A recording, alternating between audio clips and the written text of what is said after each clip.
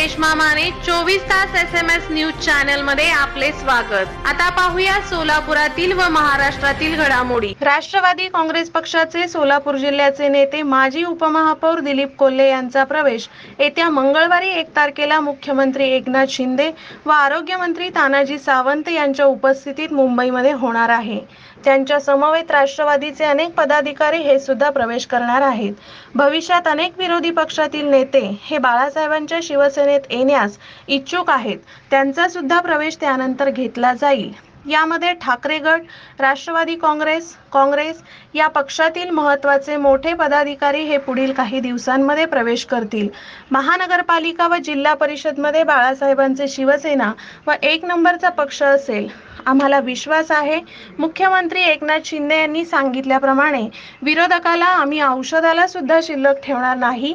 त्या पद्धतीने आम्ही सर्व बाळासाहेबांचे शिवसेना पदाधिकारी तयारीला लागलो आहोत असे जिल्हा प्रमुख मनीष काळजे यांनी यावेळी केले.